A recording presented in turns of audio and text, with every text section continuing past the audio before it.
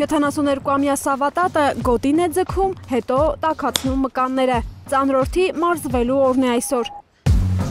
Չնայած նա շաբաթ ընդամենը մեկ օր է մարզասրահում լինում, իր հասակակիցների մեջ արդեն 19 անգամ աշխարհի չեմպիոն է դարձել։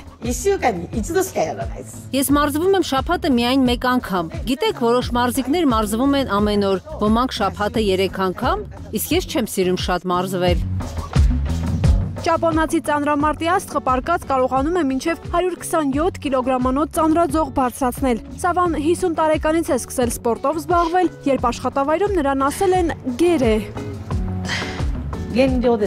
Շատ եմ սիրում ուտել մանավանդ ստեյք և թխված կաբլիտ։ Մարզասրահ գնացի, որ նիհար եմ, հետո ծանրորդ դարձա։ Այդպես սկսվեց ամեն ինչ։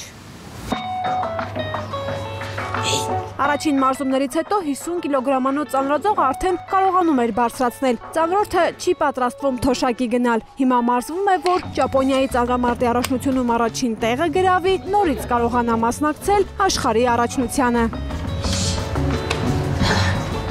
Փետրվարի 12-ին է Ճապոնիայի ծանրամարտի առաջնությունը։ Ես պետք է չեմպիոն դառնամ, որ մայիսին աշխարհի առաջնությանը մասնակցեմ։ Իմ նպատակն է աշխարհի չեմպիոն դառնալ 20-րդ անգամ։